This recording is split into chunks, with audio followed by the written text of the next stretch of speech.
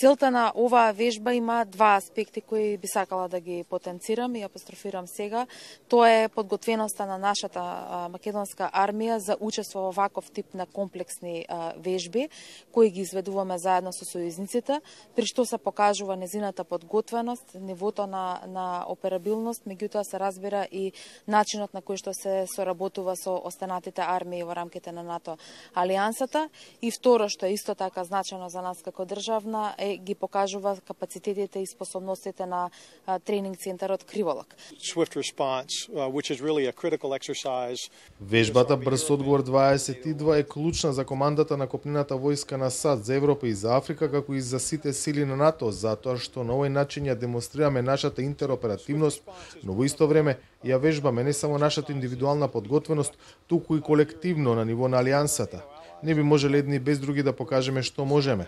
Заедно сме посилни како сојузници.